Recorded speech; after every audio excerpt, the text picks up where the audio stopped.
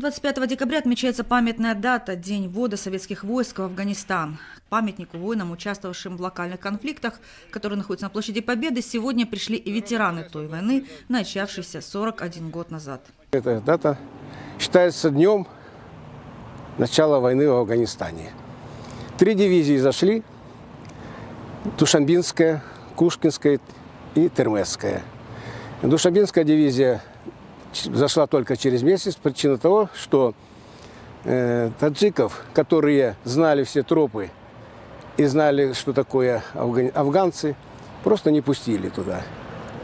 Было принято решение из состава э, войск из Германии. Дивизия в полном составе в течение суток прибыла, поменяла так называемых партизан и зашла выполнять свою боезадачу.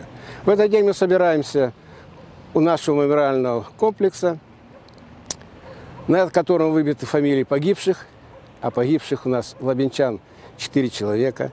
180 человек всего прошло. Это горнило афганской войны.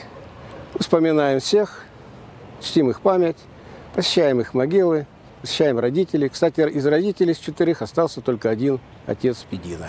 Из 180 человек, прошедших э, э, афганскую войну, пять человек представлены к высшей награде. Это орден Красной Звезды – подполковник Суровцев дважды Красной Звезды, 10 человек за отвагу и 18 человек за боевые заслуги.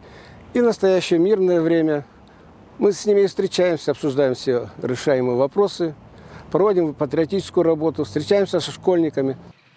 В церемонии возложения цветов принял участие глава городского поселения Сергей Шеремет.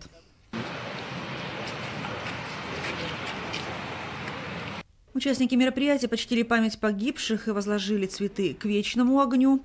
Далее направились к мемориалу вертолет Ми-8. Людмила Никонова, телекомпания «Лаба».